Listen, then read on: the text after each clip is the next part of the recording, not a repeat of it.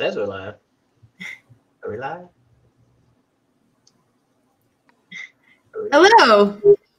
Welcome to our OktaDev stream. And uh, today we've got Matt Raible and David Neal as well today with us to talk about using uh, tokens in front and end frameworks like JavaScript uh, based ones. Like, I don't know, I haven't done it in a hot minute. So tell me which frameworks exist that are relevant now, David. which ones have we got now? Oh, you mean like front end frameworks? Mm-hmm. Yeah, we've got uh, support for Vue and React and Angular. I think those are the official ones, right?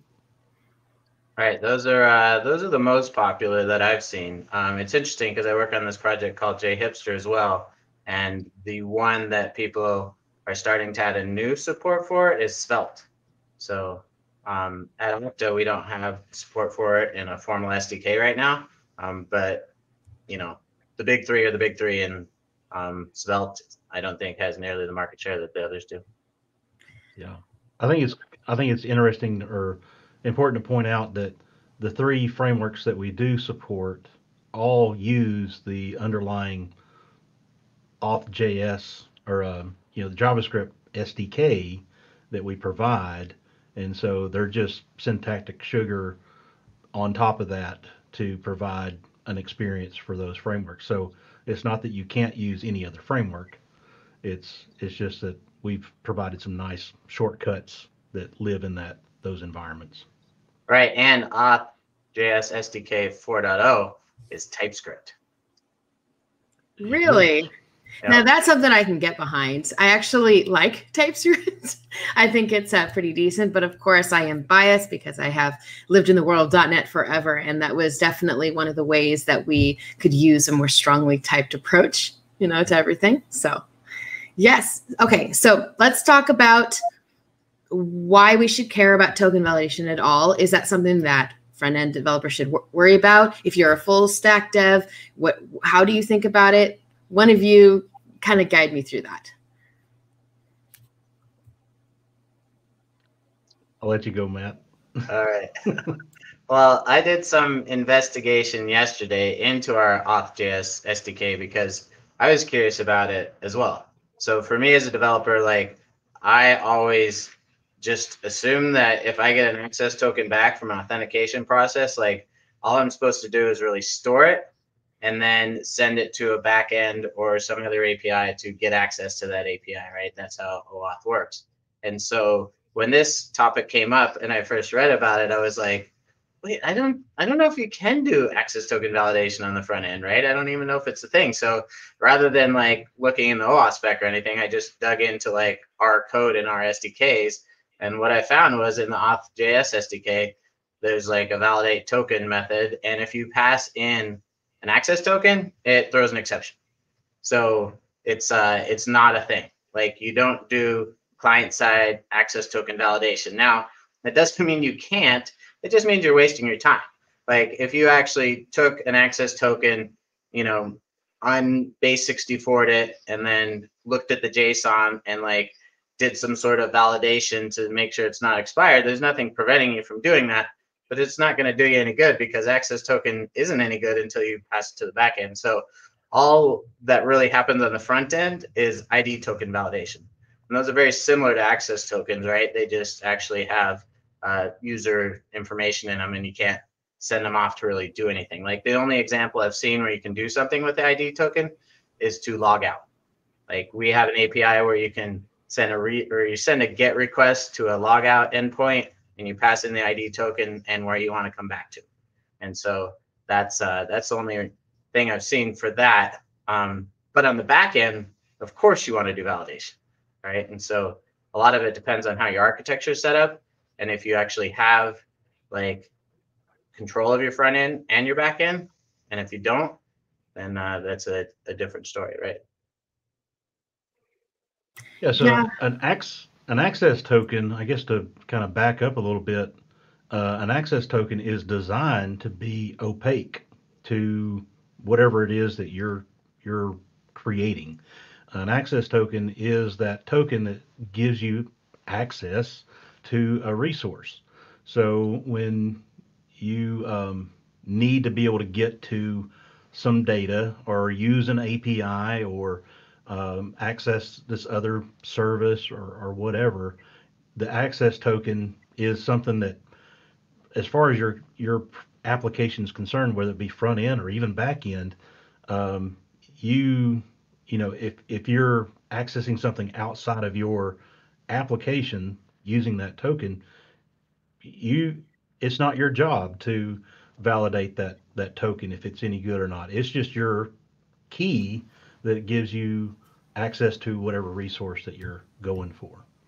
And so, and I think it's, it's diff- important to define opaque and that it's just a random set of characters, right? There's no structure. It's just, it's just a string. It's just gibberish, you know. Right. As far as yeah. we're concerned, as a, as an application developer, an access token is just a string of characters that, you know, we should not have to know or care uh, how that is encoded or you know how to decode that or what information might be in that access token. That is for the owner of that data uh, to worry about.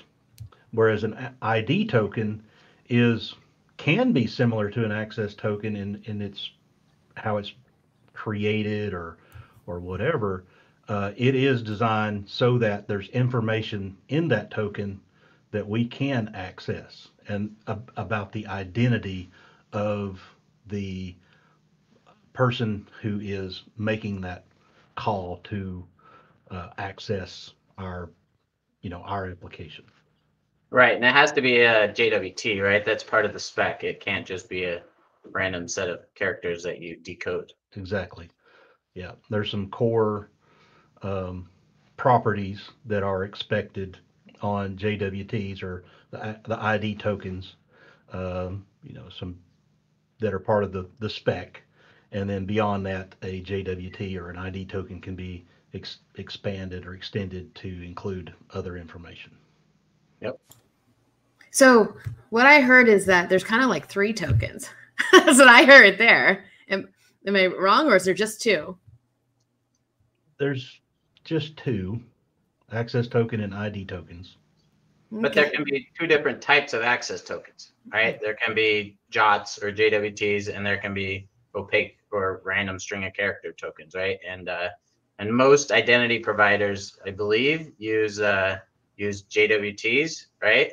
And uh, I think a lot of um, like opaque support is coming from a lot of them, but typically with opaque support, you have to do a call to validate, versus with a jot you don't have to you can do local validation of that right? You're just looking at expired and if the signature matches and all that versus opaque like there's nothing there. So you got to hit an endpoint and say is this valid? So it can be a little slower. Oh and refresh tokens. That's a, a thing from casey here. Um, oh yeah. let's talk about that too. So right now we've got an access token, an ID token. So then we have this refresh token idea. So is there an order to these operations? Is there a specific like a situation that we would use each one? Do we use all of them? So it's interesting. The uh, the refresh tokens cannot actually be used if you're doing a browser-based client. And when I say that, I mean it can't be used with Okta. Now, I'm not saying it can't be used with other identity providers because I've used Keycloak, for instance, and if you request a refresh token and a spa from them, they'll give it to you, right? But Keycloak's very configurable, so maybe it's just something you disable or turn off or whatever. Um, that's a possibility, but I know with with Okta, typically, if you want a refresh token, you have to send an offline underscore access scope, and then it'll give you back a refresh token. And if you do that, like with uh with a spa app, in my experience, it'll like throw an error and be like, "Hey, we don't support this for browser-based apps."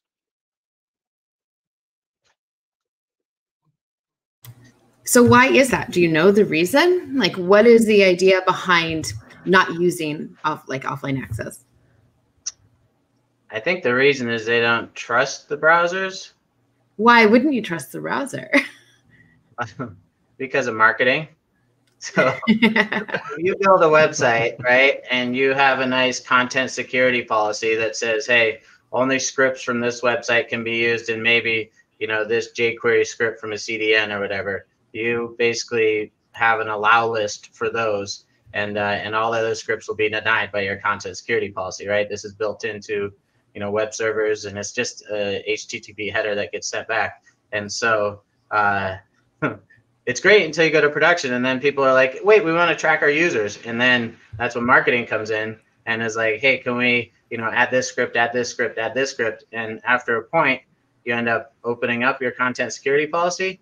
And then if any of those third party scripts get compromised well then they can get access to your local storage get your access token and things like that. So um, i believe okta has a solution for it in the sense of you know, we can exchange like your session ID for a new token. But as far as OAuth, as far as I know, um, you can't actually exchange in the browser a refresh token for a new access token. And so, what I've been recommending to people, if they're not using our SDKs, is to basically, um, you know, set up like a 60-minute access token lifetime, and uh, you know, prompt people to log in because they have to go through the whole flow again.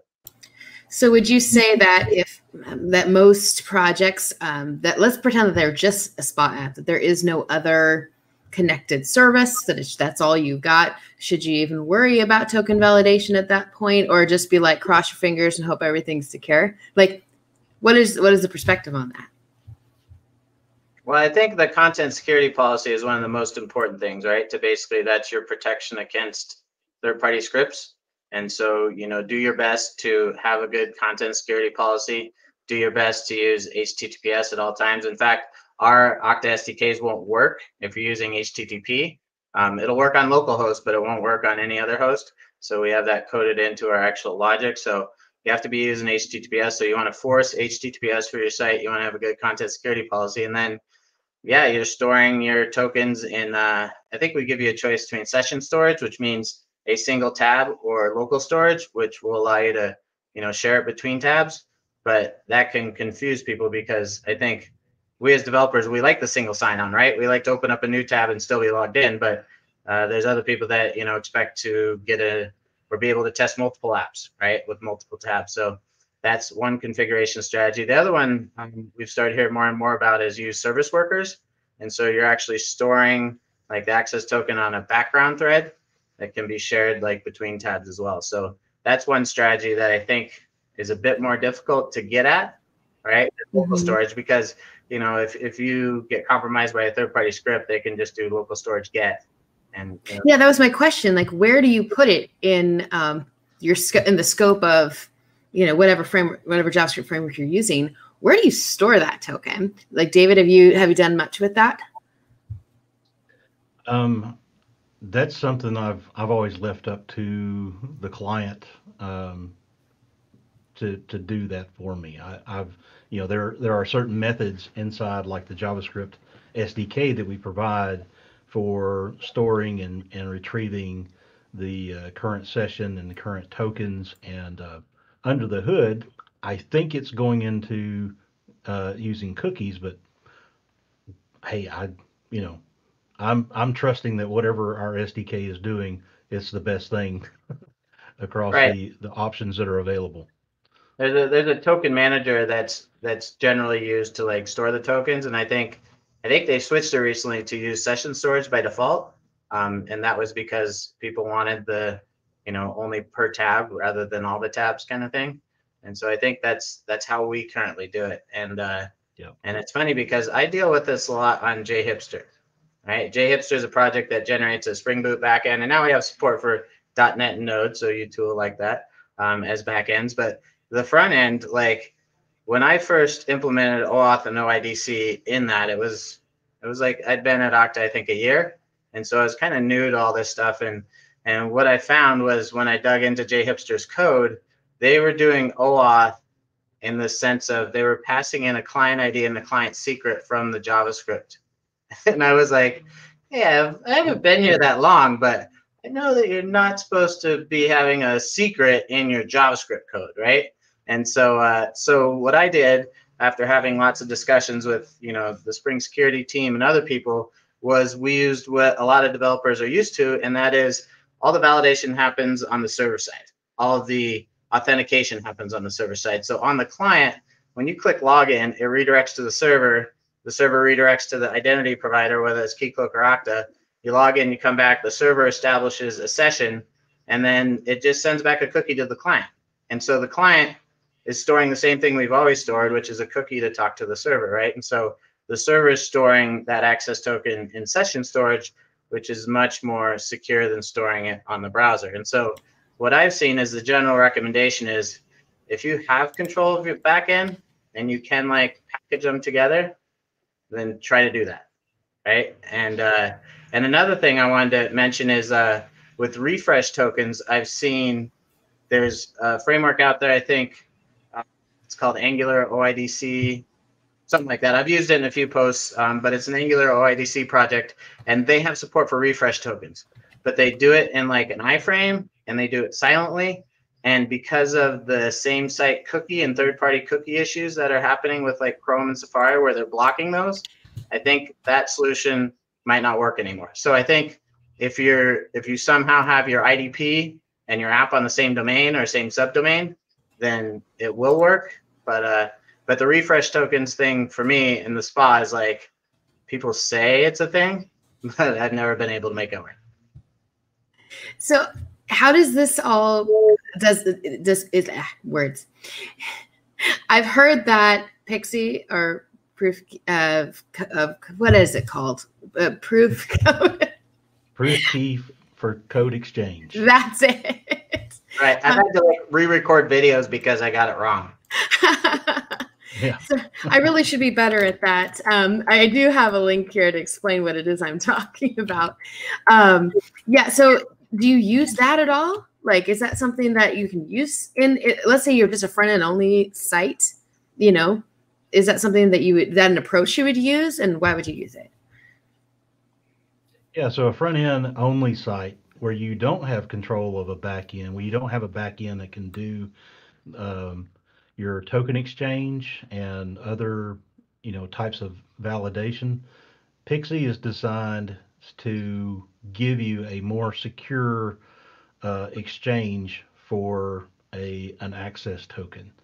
Um, so normally on a if you're using a backend server, your backend server has this secret that no one, you know, you don't ever, you know, uh, expose to the public in any way. And that secret is is the way that those backends can communicate with each other and say, hey, this is, you know, I can I can prove who I am because I have this secret that we've agreed upon. And PKCE uh, simulates that same kind of exchange on the front end so that if you're in a spa world uh, single page application where you you don't have any back end at all uh, you basically generate a a secret on the fly that becomes the way of validating like here's here's a uh, this this random code that I'm supplying with the uh, request to you know get a access token. The server that you're communicating with that's doing your your auth is going to accept that and and keep that you know uh, uh, you know uh, in, in as part of that transaction so that later on when you get your temporary token and you want to exchange it for an access token, you can supply that same code again uh, to say, yes, I'm still the same person that that requested that in the first place, you know, and you could be more, you know, or less risk that, you know, something hasn't uh, bad hasn't happened. Right. So in in SPA apps, the alternative is implicit flow, and implicit flow means that you'll get the access tokens back in your address bar and the reason that that existed when we first started inventing OAuth was because the browsers didn't have good XHR support and like uh, CORS, right? Cross origin resource sharing wasn't as much of a thing. And so as a workaround for that. And so the recommendation now is from the OAuth committee and from Okta is don't use implicit flow, use auth code flow. And if you're using our SDKs, I think it's Angular 2, Vue 2, and React 3 um, versions for those. Um, those all use PKCE by default. Um, so if you were to upgrade those, then you would just need to go into like your Okta app and check the authorization code checkbox, and then you could use PKCE. I mean, you could still use implicit, but you know, um, try not to. And then I think this is a good point from uh, our friend Micah that part of the reason Okta doesn't allow refresh tokens as SPAs is because they're more easily intercepted and we have unlimited expiration on a refresh token. So um, what I've noticed is they're great for mobile apps. And in fact, uh, I've used Ionic app a fair amount in Ionic. And um, if you set your access token to like five minutes, what I've noticed is that library, as soon as you get it, it thinks it's expired because it has like such a, you know, its window is like five minutes for drift time. And uh, so the next thing you do, it'll go and get a refresh token. And if you're on a mobile device, works great. If you're in a browser, you get an error. Right. So, yeah. Well, I know that when I was messing around with Alexa, I was trying to figure out which flow would I even use for that, right? Because it's not a mobile app, um, but it's also uh, the the flow is actually the same as it would be for a front end site. So um, because you do, at least with Alexa and Google Assistant, you get redirected as part of their OAuth OIDC flow initially. But after that, if you don't um, set up refresh tokens, basically the first time your Alexa skill will work, and the next call you do, it won't, it'll fail. So it becomes important to pay attention to when and where you exchange things. Um, we have all that kind of like laid out in our developer docs. Um, but I mean, maybe you guys could show me like an example of how you would use it in a front end framework. I don't know which ones are you really deep in. Are you deep in React, Angular, Vue? Which ones have you been playing around with? Each one of you. For me, it's been Vue more recently, mm-hmm. um, but it has been I don't know. It's been a minute since I've uh, implemented any Vue apps. I think. What? Mike Mike is probably more up to speed on Angular, right? Well, um, yeah, I've done certainly a lot with Angular, um, a bit with React. I mean, I, that's what I love about JHipster is we support all three, Angular, React, and Vue. And guess what? The code is the same on the client for all three because we do all the OAuth stuff on the backend, right? And so if you're developing an app where you might have multiple clients, right, that's why you might consider doing it on the backend. But another thing that I wanted to bring up was that uh, oh, as soon as I saw Micah's comment, I lost it. Faster. what was I thinking? Now you understand. I, mean, I can't even pronounce things. Uh, it's morning time for me here in Kansas City, so my words come a little bit slower than normal. Hmm. We're still live, right? Yeah, we're still live. Unfortunately for everybody else watching. Um, okay, so I know that Matt, you said you've been touching Angular recently, right? Yep. Uh, can, do you guys have any? I recently made our samples work with Vue CLI because they were more Webpack-ish before. And so if you generate a new Vue app with like the Vue CLI, it's a lot more compact, right? There's scripts in there. It's kind of like create React app. So um, all of our samples just in the last month we've updated. So they're using more of what you would expect. For instance, Angular uses Angular CLI right? React uses Create React App and Vue uses Vue CLI. So I'm happy to demo any of those if you would like. Go for it, Matt. Yeah. Okay. Wait, pick a random one. I want to see your code. Let's go. Well, let's get to. We got one vote for Vue in the comments. Let's see if we can get a couple more. But we are delayed like 15 seconds, right? So if I ask, yeah, it's more like eight. But yes. right, so we got one vote for Vue. David said he likes Vue as well, so we can do Vue. I have no problems with that. I'll uh, so share my screen here, right? And then uh, close that one and close that. So I got this samples JS Vue here, and if you look at the remotes, you'll see that you know I have my branch and then I have the one from that. So how it works is if you view the README, we should probably open that in a browser so it'll be easier to read. All right, no, don't do Xcode. Never mind. Well, uh, hey, what you can, what you can, no, never mind. I was about to say there's a quick way to do it through npm, but that was something else. So, so what there is is there's there's two uh, folders here. There's custom login, and there's Okta hosted login, right? And so the custom login uses our sign-in widget, and then the Okta hosted login redirects to Okta to log in. So um, what the README says is basically create a new app on Okta, and then you know put some variables in this test m file. So if I look at the test m file, it's got uh, got my username and password in there. So now you know that. Um, and then issuer, client ID, and basically you can run and test these apps with uh, Protractor, I believe, to make sure they all work um, as soon as you have that in there. So um, I have a tool called the Okta CLI installed, and I can do Okta apps and see which ones. Well, I don't have any, so um, let's do Okta apps create, and we'll just name it that samples, and we'll do single page app, and uh, I think, yeah, we'll make that the callback. And so now we have new values, right? So I can go into this test env. I'll open it up in VS Code here, make it easier. Oh, doesn't like that. TextMate. And then I'll take uh, this new org here and put it here. And then this client ID put it right here. And then you can go into like custom login and run npm test.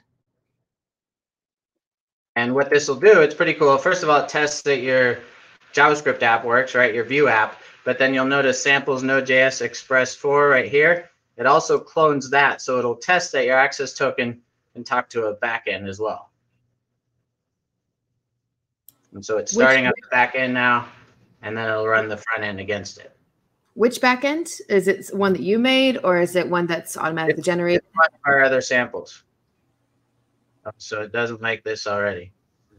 That's because my don't know my password. So when that happens, then you go ahead and do uh, out, uh, what register, and you create a new org. I'll do my Octalan.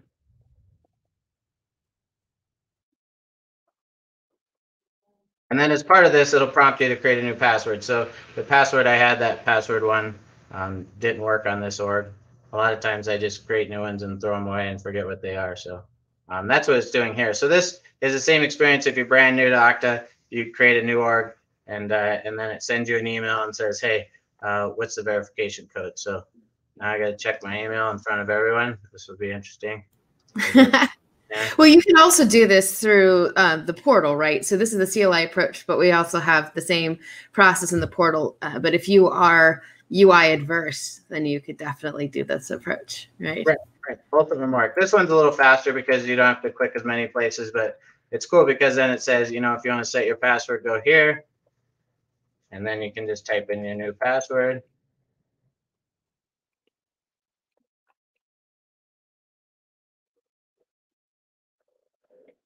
and you're basically logged in, right? And so then we'll need to update this test env here, right, to use this org now. So that TextMate, I think, back here.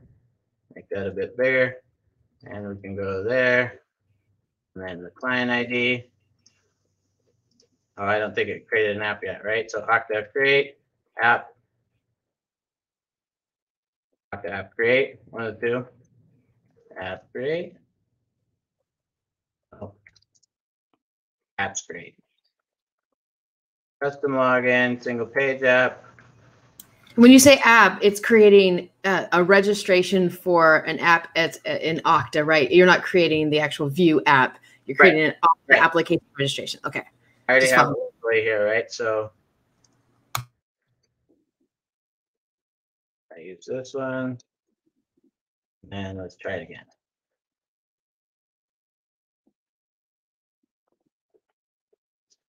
So it's basically going to log into Okta, verify that like my username shows up, and then make a call to the backend to verify that the messages are there. So then we'll dig into the code after this, and I'll show you like how it's passing that access token.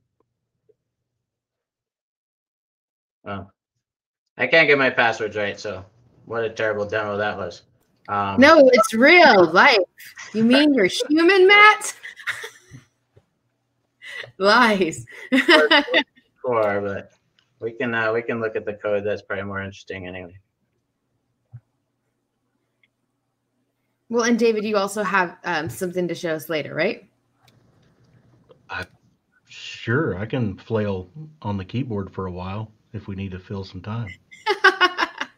So here's what the code looks like in the uh, in messages. So um, first of all, you know, login when you log in, it's using the sign-in widget. So here's the code for that. It renders our sign-in widget using some, you know, OIDC code here.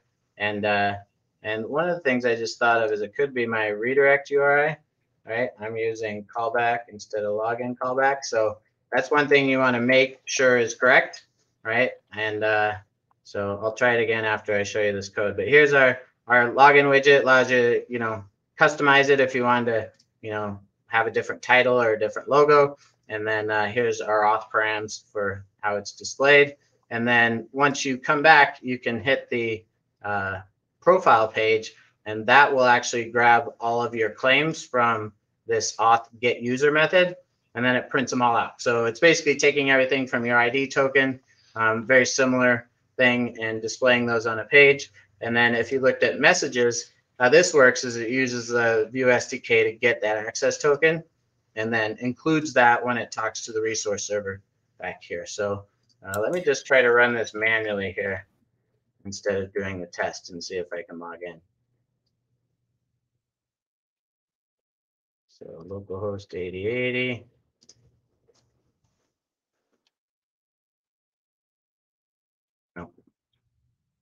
So. so I have a question real quick. Um, it's not completely related to token validation, but you mentioned uh, the sign-in widget. So I thought that part of the value of using Okta is that you didn't have to build like sign in. It looks like you were able to customize things there. Is that which kind of um, sign in flow is that, and are there other options? So yeah, the sign in widget is basically designed for if you don't want anyone to leave your app, right? It might be a a jarring experience for someone to go from your app to another URL, right? They might be like, what's happening here? And so by using the sign in widget, there's no like redirect, it's just in your app. Um, but then the other thing that happens is people want to customize that sign in widget and uh, and it's uh, can be difficult. It's not too difficult. I think you did a CSS video on it, right? Where it's customizing all the CSS. So if you want to change the look and feel and still keep it in like a box, it's not too hard. But if you want to like move a button to the top or put it in a, a top you know navigation bar or something like that then it can be difficult. And so that's where you can drop down to using our auth.js sdk and uh, and basically you're just writing javascript code that captures like the username and password sends those to you know okta. And then you can still get back like an access token and an id token but it gives you full you know ability to customize the ui so is that still an an OAuth OIDC flow in if you're not redirecting? No. Gotcha. Okay. So uh, an OAuth OIDC flow is where everything's hosted on Okta side, and you'll be redirected to your org at Okta, and then that's a sign-in page that you're presented. That you can do some light customizations to. but if you want to do full fledged, then you want to not do that flow, and that's when you would use the widget. Is that correct? Right, and uh, and there is some API calls that uh, won't work with third-party cookies, right? Because uh, a lot of these browsers, Safari started doing it like a year ago, and I think Chrome 85 does it pretty aggressively, where third-party cookies won't work. And so, if you're talking to Okta on a different domain than your domain, then uh, then you're going to have some communication problems there. So one of the things you can do with Okta is you can set up like a custom domain, right? Um, I think I set up id.mattraible.com and so I can use that to log into my site and then I can host my site on mattraible.com, right? And so that's a workaround for third party cookies. And you're going to pretty much have to do that with any identity provider, right? It's not really an Okta thing. It's, it's just the nature of using, you know, a third party. And one of the things I learned yesterday, which was like, or two days ago, I was like, what? It doesn't support that. So Cypress, right? Cypress is a well-known like UI testing framework for JavaScript frameworks. And uh, it doesn't support actually going to another domain as part of your test right? Like it blocks it. And so there's an issue out there that's like, hey, um, we can't test any OAuth flows unless you allow us to do that, right? And so um, that's uh, that's it was interesting for me. Have you run into anything special like that, David, when you've been messing around with some of um, the integrations in front end? Yeah, and talking about Cypress in particular, um, I I think I saw the uh, some internal information we were talking about that earlier, and I forgot to respond. But I actually had, know someone who works on the DevRel team at Cypress, and who has created a sample project that for Okta, and uh, it's pretty cool.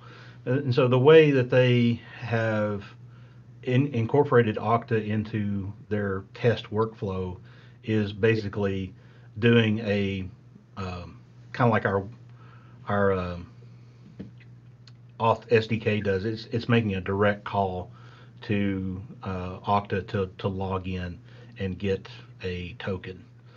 Um, so getting a, an access token directly from Okta so that you know the rest of the application will, will work uh, as intended.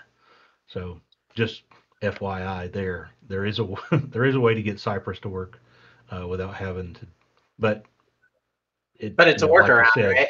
It's it's it, a workaround. It's not like you know the same kind of thing where you redirect um, and and do those kind of flows. All right. So it looks like we have a um, question here from a viewer. Did you want to pop that on the screen there, Heather?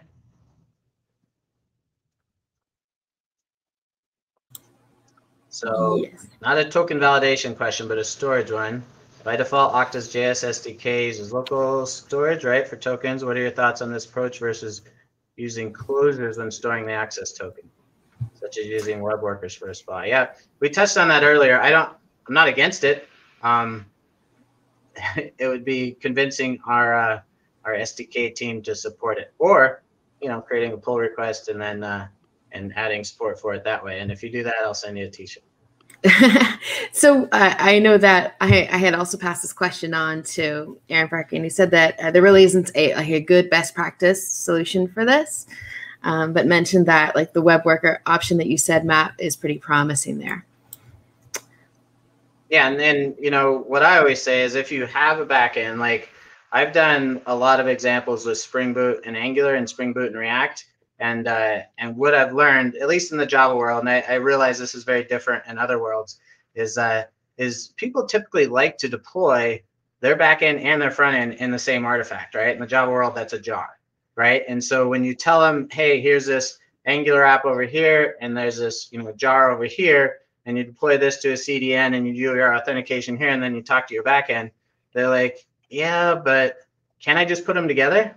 And then you're like, yeah, you can actually put them together and it's more secure because then you're dealing with that client secret on the back end. So um, if you have a SPA and you're like, how do I make this more secure?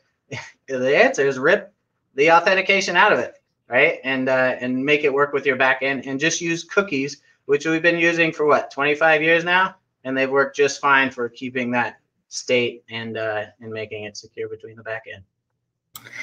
You know, it's interesting. I remember the first time I saw like um, a good single page app like that came out and the promise was you everything's just right here you don't even really need a back end and um, you could just do everything here and i haven't seen at least in my experience with enterprise level solutions, that's still the case. It seems like we usually hook everything up to an API that our company controls and and end up doing some of that chatter and not having the entire process right there. However, I do understand that there is an option for nodes. So if you are a JavaScript developer and you don't want to learn Java or .NET or, or PHP, that you can still do things in Node and have Node be the one that handles that token validation. Is that correct? Yep yeah, Node is just like any other back end, so you can do your your token validation and and have your back end Node is your back end server, so it can do the communications with other resources, other third parties, uh, so that as Matt was talking about, if you want your front end to just only have a session and uh, like a session cookie and it communicates with the, your backend server. If it doesn't need to reach out to other APIs that live elsewhere out in the world, which is you know far more complicated anyway, um, with all the CORS and, and other types of restrictions, then yeah, uh, some type of back end is going to be a, a simpler scenario and and easier to work with. But there's still calls, right? At the end of the day, whether it's um, a front end framework or back end, you're still going to be doing things over the web, right? Mm-hmm. So there's still inherent risk in some of this stuff, but the difference is is that all all of your script literally is something that you can right click and, and inspect and look at in, in a website, whereas a .NET one is completely compiled and then put to the browser. And of course, I'm running into this now because um, in, in the .NET world, Blazor has come out, uh, but there's two versions. There's Blazor server side, which um, you know uses like web calls, and then there is um, Blazor WebAssembly, which now has the exact same issues that we're talking about here when it comes to token validation. So even though I can build a .NET app in Blazor WebAssembly, it's basically like I built a JavaScript spa. I mean, that's pretty much the same because you can still right click and inspect and take a look at stuff. So I have to now follow the same kinds of concepts and separate um, when I validate that the token is really real and somebody isn't trying to spoof me. Well, and I think something too important to remember about cookies, right? People are always like, well, cookies can be stolen too, right? Just like an access token. But cookies have recently had some enhancements where you can have it be secure only and you can have it be HTTP only, right? So that means that your JavaScript can't actually read the cookie. And so that makes, you know, cookies a bit more secure there versus having a compromising script that can talk to your local storage, you know.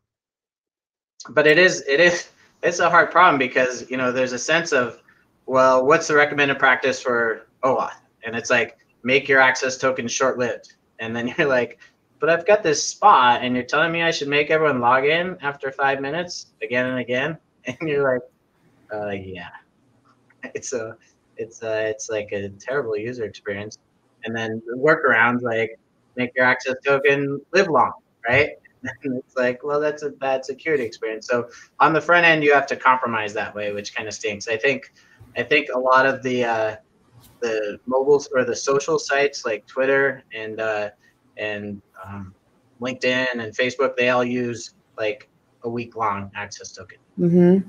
Right. And uh, on the mobile apps, it's not a problem because you can use the refresh token, right? And that usually happens automatically. The same thing with any backend one as well, is that we can just refresh tokens and set it up and be good to go. Right. Yep. And a lot of the frameworks, like you shouldn't have to worry about this stuff, right? You as a developer shouldn't have to worry about your access token expiring and trapping that and getting a new one, right? There should be SDKs or frameworks like Spring Security that handle all that for you. And uh, and for the most part, there are, but you might find issues. And even with ours, we're, we're doing our best to make it transparent um, but you might find bugs, right? So we just encourage you if, if you have any issues, right, with refresh tokens to file an issue in any of our GitHub repos that you're using, and, and we'll try to fix that because we really want the best experience for the users, right? Like we fight for the users. Yes, we do. Absolutely. I know that for me, um, moving from I said not really moving, but really truly expanding to a full stack knowledge base for me. Um, I found this particular thing to be hard to conceptualize because I have lived in in a back end world where I always can go and validate. I can always make sure that everything is secure. And it's really kind of terrifying to work solely in the browser. I feel like there's a lot here that is at stake, right? Especially as a developer, it seems like we are held to uh, the expectations that we know when to speak up about hey, that we're not following a good standard, or hey, you know, this is possibly could be compromised. It seems like the onus is on the developer now to have the knowledge, whether the frameworks handle it for you and SDK handles it for you. You seem to still have to have the knowledge when it comes to the decision makers out there about what should be done. So I think um, I understand the uh, the constant questions that we get about, well, what should I do? Like, what does it mean to be secure as a JavaScript developer? What does that mean? You know, like, how should I be thinking about this? Should I save my token? Should I not save my token? Uh, what happens if somebody suddenly closes their browser and then pops back up? Should I instantly log them out? Like, how long does this, how long should it go? You know, should I log out their whole session, like um, their whole entire Okta session, or should it just be for should I just forget about the token in my local app? You know, that's another question. Have either of you dealt with um, you know, single sign on versus, you know, just uh, your app being logged out, but everything else being logged in? Well, one of the interesting things we ran into with JHipster when I first implemented the flow there was that if you logged out, all it did was kill like the server session. And so if you clicked login again, it would redirect you to Okta or Keycloak and log you in, and then you're right back where you started. And people are like, no, I wanted to log out and log in as a different user, right? Because they're testing, right? So they want to log in as an administrator and then log in as a user and see what the difference is. And so what I used for the first year, and I got away with it, was like if you logged out of, let's say you use you logged into Runkeeper with Facebook, right? If you logged out of Runkeeper and that logged you out of Facebook, you'd be pissed. You'd be like, what the hell just happened? I got to re-log in. Like every time you log out of one of the apps, you got to re-log into Facebook. And so that worked for the longest time. And people were like, okay, that makes sense. Um, but, you know, sometimes you really do want to log out. And so that's where I implemented where you go to our login or logout endpoint and pass that ID token that refresh token. So I think, I don't know if that answers your question, but I think it's like single sign in is you never really want to be logged out. Right. Well, I mean, from everything. Or like you want to log out because you're trying to test stuff, right? You're trying to test different users and scenarios. So I guess that that was really confusing, right? I had lots of questions about that uh, over the past week. Is that what does log out mean to Okta? Do I need to hit your endpoint, or should I just forget about the token? Should I just like remove it from my app so that my app no longer sees it? You know, like so when it comes to, um, you know, what happens if I hit the Okta logout endpoint? Does that mean that all of my apps are now signed out, or does that mean that just my current app is? No, just your current app because it uses the ID token, right? So it knows that you got that ID token for that app. Okay, but if you have an access token, can you log out? Now, the our logout endpoint, um, there is RP initiated logout, which I haven't been able to get work to work, but I know uh, Brian Demers did a Spring Boot logout options post on that, and he uses that, and that's actually from the server side, hitting like Okta and so the client never sees anything and logging them out as well. Okay, so so, so then it, you, in your client app, you wouldn't necessarily ever worry about that. You would just pass the logout request to your backend and say, "Hey, backend, go log the user out." And so I think uh, I think it really only applies to developers, like why you would want to log out, right? Because once you're in production, like take us, right? We're Okta employees. We log into okta.okta.com, and we never use a different username right? So we always want to stay logged in, right? Like it's a pain when we have to re-log in. So we never really want to log out. But as a developer, you always want to test these different scenarios, right? So I don't know if it's used that much in production, but for development it is. So does that mean that when the token expires, is that just for your current app or is that for you as a user across all Okta apps? No, it's just the current app, just the one that you just logged into. Yep. Oh, that's good to know. So then, uh, expected behavior is that, that disconnected. This is really an isolated instance, which is why you register an Okta app for every like Vue or um, Angular app that you have, right? So that it, it, it's separate from the rest of your org.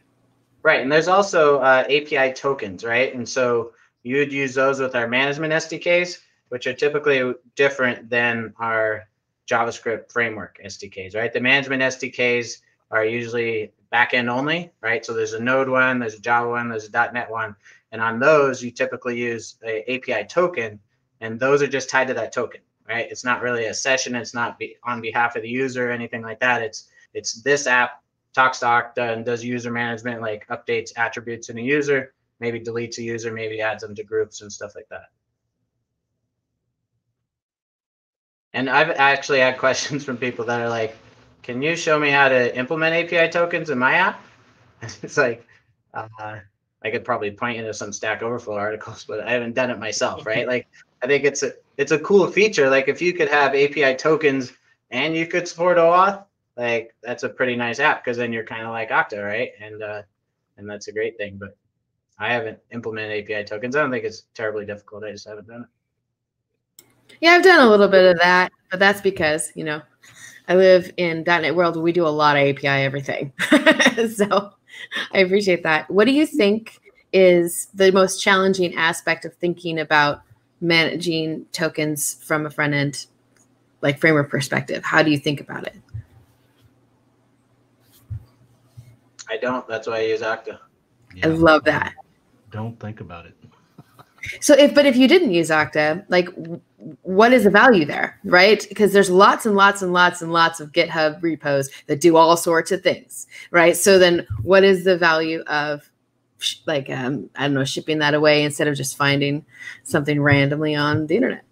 Well, the argument that I hear with JHipster, right, is people often want to switch to doing the authentication on the front end and uh, and making the back end. The argument is they want the back end to be stateless right? And the reason they want it to be stateless is it's easier to scale stateless, or is it?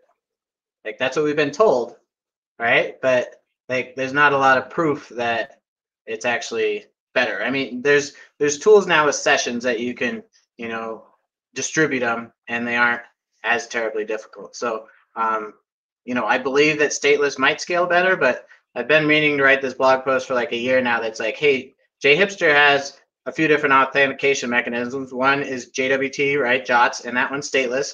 And then there's OAuth, which is not, and then there's Session, which is not. And so if we were to hammer those with something like Gatling, like who's the first to fall over, right? Maybe it's the JWT one because it's actually, you know, processing JWTs, issuing JWTs, it's doing this cryptography, and you know, it doesn't have, it has to deal with more like in its actual system. So um, it's something that I want to test, right? And I actually I spend a lot of time on the JHipster issues with people being like, no, we should do it on the front end, right? So there's still a lot of people that want to do the authentication on the front end, like we're talking about here. And uh, I think when you get into maybe really high scale and doing like lambdas and serverless, and your back end is trying to be not that smart, and your front end is trying to be smart, then you're going to be kind of shoehorned into putting a lot of logic on your front end. David, have you ever done any uh, like deployments to like a, a host like um, Heroku or Azure or Amazon at all with yeah. any? So, do you find that you can just deploy it and it just works, or that you have to really set things up so that token can even get where it needs to go? Yeah, there's um. well, let me try to think of some some scenarios, but. Uh, when you're we were just talking about serverless um, matt mentioned serverless stuff and uh, there's yeah there, there's work that has to be done to configure those functions to allow certain domains to be able to you know you to, to think to try to lock down security on any kind of endpoint. When you're talking about some kind of backend API or serverless API you want to restrict who can call those APIs um, or have you know like a, um, a CORS policy and you know there's just a lot of work to be done. Um, I like services like Netlify that uh, hide a lot of that complexity for you so that hey this is my this is my domain this is my website that I'm trying to deploy these are the sets of functions that I want to deploy as serverless functions. And behind the scenes, it's doing all the work to configure um, those individual functions and set the security policies and, and all that kind of stuff. And uh, I really appreciate, you know, those types of services where I don't have to worry about those things. I don't have to think about them. I, I, I don't even fully understand them all but I can appreciate that they're doing a lot of stuff for me that would normally take a whole lot of work and and uh, uh, to do the same kind of thing if I were to do it on my own.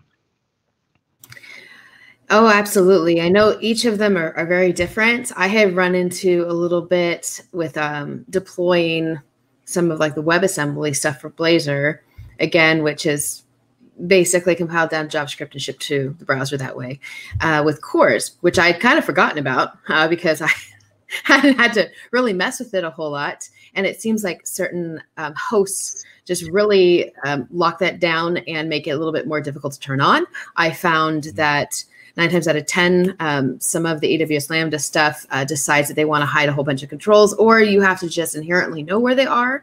Um, that's harder. However, um, yeah. when I had deployed some of this stuff to Azure, it's actually not that easy either.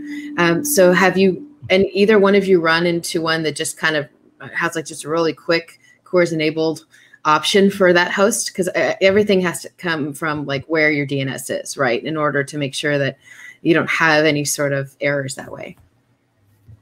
Yeah, so I was just talking about Netlify. Netlify under the under the hood uses uh, AWS Lambdas, and so uh, they do all that that configuration for you based on your your current environment, your your domains, domain or domains that you are deploying, uh, that you're hosting, and you know, there's it it just mag it just magically you know the one the one button that you that you press and it all uh, happens for you. And, and I, I'm not as familiar with Heroku and some of these other services, but I know they do a lot of that kind of thing for you as well. So one thing I wanted to bring up was uh, was when people do deploy to these services, we get this question a lot. Is they they get everything set up and they run it locally, it works fine. Let's say they're using Angular and, uh, and they're using like you know Webpack Dev Server under the covers, and then they deploy to something like Netlify, and they log into Okta and it comes back to their app and they get a 404. And they're like, what the heck just happened, right? Why am I getting a 404? It worked fine locally. And the reason is because single page apps need to have all requests sent to index.html, right? And whether it's a 404 or any 401 or anything like that, like that single page app needs to handle it, right? And so Netlify makes it super easy, right? There's like a redirects file you can add. Uh, Firebase makes it really easy. The other one I've used is Heroku. Like those all make it so you can add like a file to your app, and then it does everything for you. Even does like security headers and stuff like that. Versus like AWS. Oh my god, so painful. It takes like 20 minutes, and you have to go set up a Lambda just to add like the security headers. And so uh, yeah. yeah.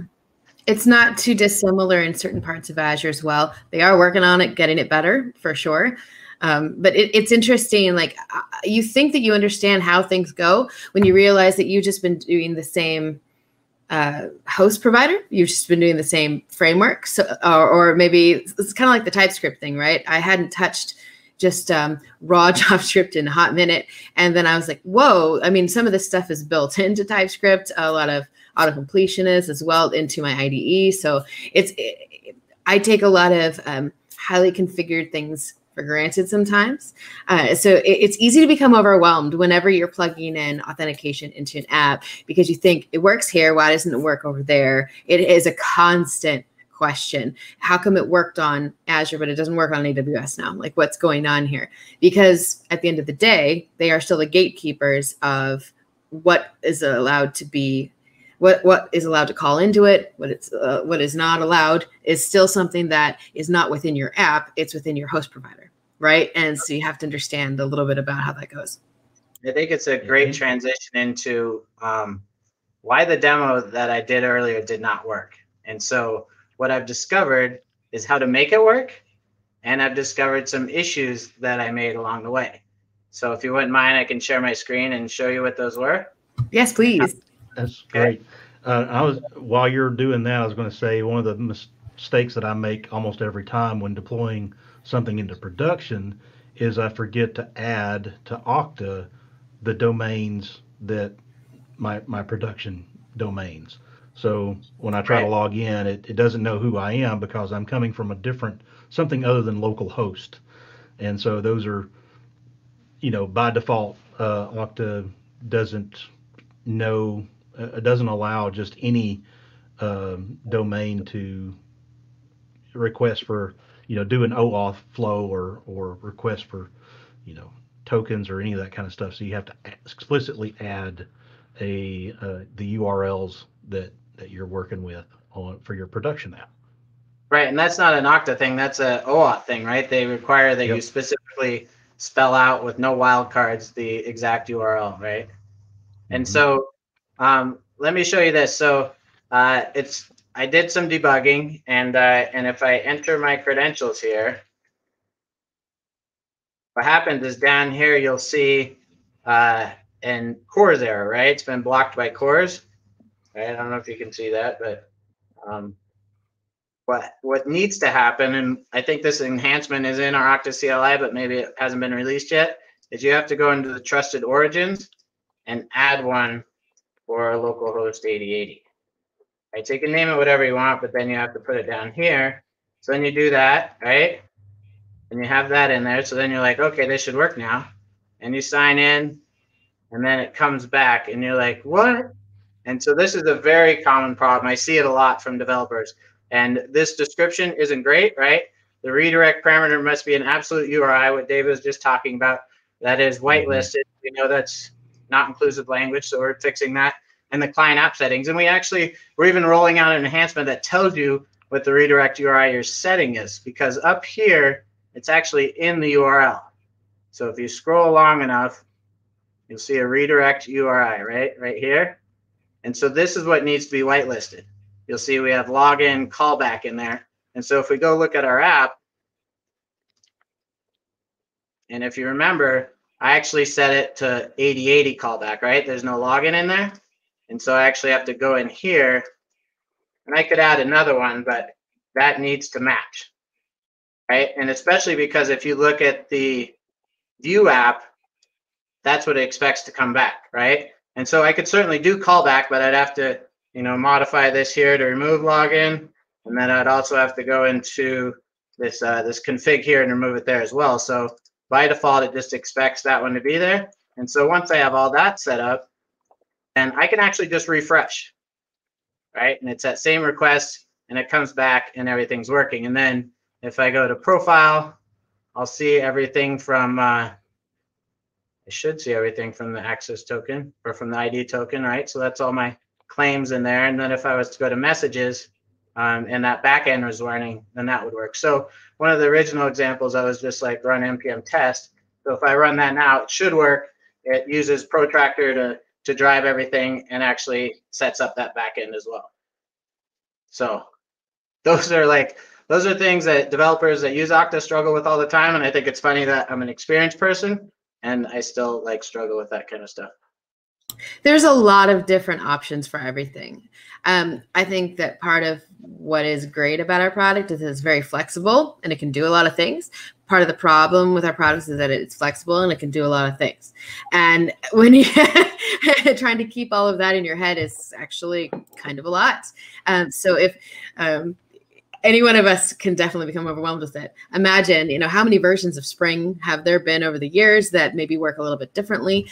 Um, that's part of why you did JHipster, you know, to make things even easier um, right. for interacting with it. I mean, I've got so many versions of what um, C Sharp can do.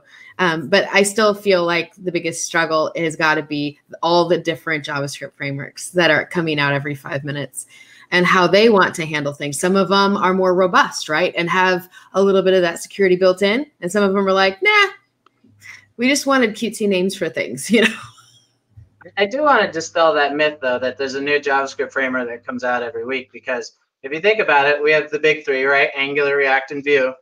And they're like five years old which in JavaScript land means they're like grandparents by now, right? So I think, you know, even though there is new frameworks like Svelte and others coming out, um, we've had a lot of innovation in Java recently as well. Like Micronaut and Quarkus are new frameworks. They use like, you know, new things that people didn't think about before. So I think there's innovation happening everywhere, and even .NET 5, right, is uh, new and exciting as well. And of course, uh, then there's within those languages or frameworks, there's also what kind of apps. Um, desktop apps? Do you have mobile apps? Do you have spas? Do you have APIs? Um, you know, there's there's so many different kinds now. I mean, I've got web workers, all sorts of different things. Um, so, and each one of those are going to interact differently with Okta. So, on top of the language, there's also the type of app that you're doing um, even within like the most recent templates there are, which is part of why we need more um, open source community contributions, right? Is, to say, hey, we figured out how to do it this way and share that with the community, like on our forums, or you can always email us, you know, devrel at. We can always talk to you about how something might work.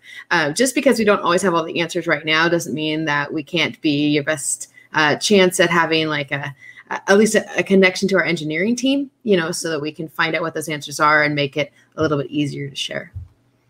Right. One thing I'd like to point out is that's what we really try to do with our blog posts, right? Like we have a lot of samples for the various things, but you know, if you want to do something that's not traditional, then we typically write a blog post and show how to do that. And we try to have uh, GitHub repos for each blog post. So I think we're up to like 200 and something now, but we also have a toolkit site on okta.com that highlights a lot of those samples that we have out there. And what we'd encourage you, the community, to give us is ideas for blog posts that you would like to see. Like you've tried to do something, maybe you couldn't figure it out, or or you know you're trying to do some filtering in GraphQL or where clause or something like that. Like things that we could write about and provide a sample for. Um, we're happy to do, right? Because uh, it's tough to come up with new samples all the time or new ideas to write about. You know.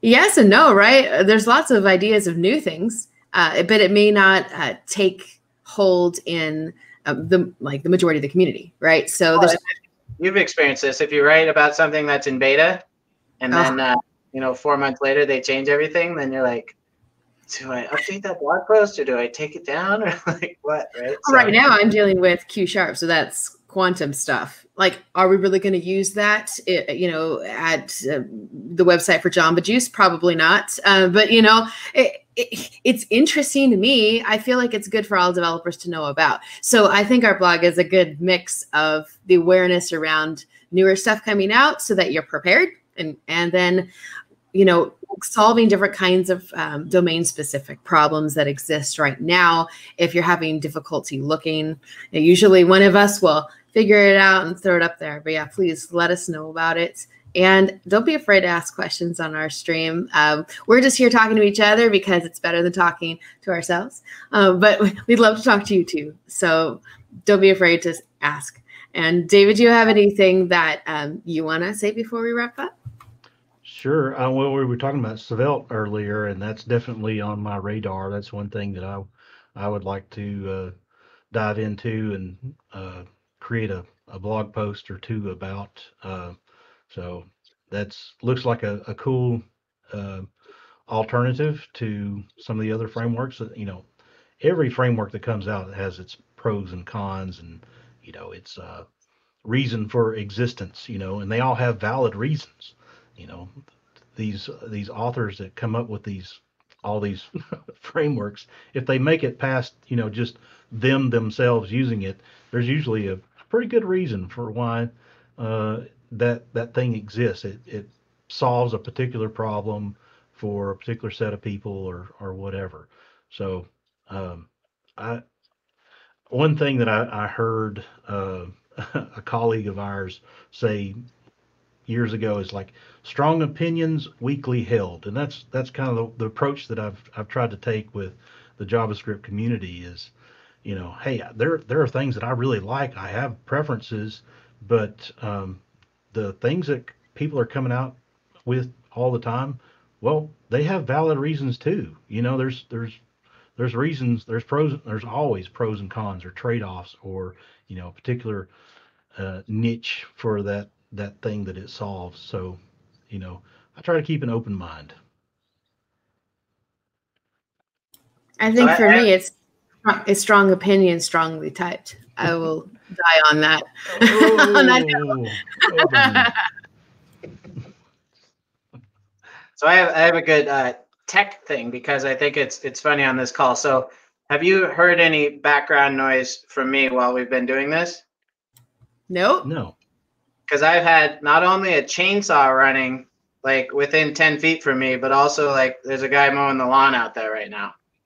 And uh, so I'm using this tool called Krisp, Krisp.ai, and it's uh, it's really awesome for like killing the background noise when you're doing calls like this. It's changed uh, Trish, my wife's life, because she has an office in the middle of our house, and uh, the kids will come in and like make breakfast or all stomp in and you know be bashing stuff around and she's on a call like this and she's like would you just be quiet and so since she's got Krisp and installed it it's changed her life she's like you can do anything and no one will hear any of the background noise so highly recommend it if you're working from home which most people are these days and trying to eliminate I, I too give it yeah i give it a thumbs up too i've been using it for uh, a few weeks, and yet almost every time I would start to record or have a do a, a stream or whatever, uh, the guy who mows my yard will will show up and unload right outside my window. You know, every time. I know that Zoom has a little bit of noise cancellation built in, uh, and some others might, but this is for everything, anything that uses your Yep. mic, right? Right. Yep. That's cool. I have not installed that yet on my PC, which I'm on right now, uh, but I definitely did for my Mac because that's usually my travel companion. Is I, I take my MacBook Pro everywhere, um, but at home is probably when I need it the most because that's when the dog is barking or I have the loudest HVAC in the world. It, it comes on and it sounds like a Mack truck is coming by. So uh, I, I it definitely worked on my laptop, so I need to install it here. I, I did notice. I think Zoom had an update recently where they they killed any echoes, right? So like if we had a Zoom call and I was showing you how to work Streamyard, I'd have to like mute Zoom, and I did one of these last week where I didn't have to mute Zoom, and there was no echo, even though there was like two speakers. So that's pretty neat too. That's awesome. Thank you guys for answering all of my silly questions. Uh, as I'm much newer to doing front end stuff, and if you guys have any questions for us, like again, please hit us up, devrel at or you can hit us up on Twitter uh, at OktaDev as well. And we also have a YouTube channel. So if you're interested in uh, checking us out there, we have an OAuth happy hour every other week that we don't do this group Twitch stream. But other than that, thanks for joining us. Thanks, y'all. See you later.